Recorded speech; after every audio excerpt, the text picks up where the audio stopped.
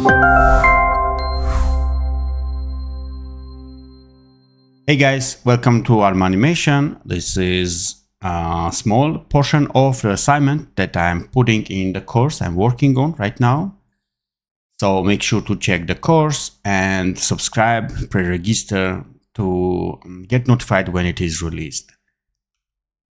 Let's see what is it about. So we have two paths and they are perfect circle. So sometimes you might need really to do that and there is no easy way to do. So I will show the workaround for the circle. Let's go to setup pose. Let's start over. Select the root bone or any container bone and create path attachment. Just make a two points and you can either connect it by clicking at the start point or clicking here to close it. It's looking like a line, but the moment we move the handle, we will see what's happening there. Let's drag any square image convert it to mesh starting from 4.2 or something. When we edit the mesh hover on the edge in the middle section with create mode enabled it will actually snap to the centers.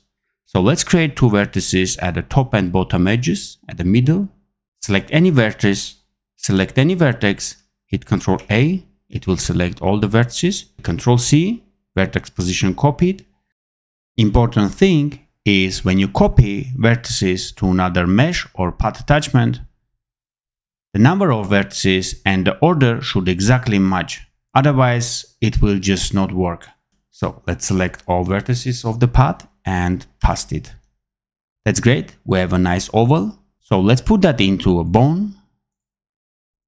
To make it perfect circle, you will have to scale the bone. So it's basically adding one third so you can select the text field and use the operator plus and add that 03. More 3 you add, closer it will get to the perfect circle. Now maybe you can try yourself and create perfect square. Note that the points are not in the middle.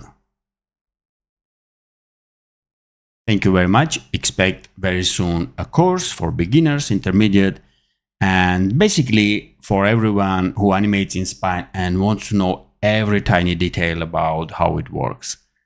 See you in the next video. Bye.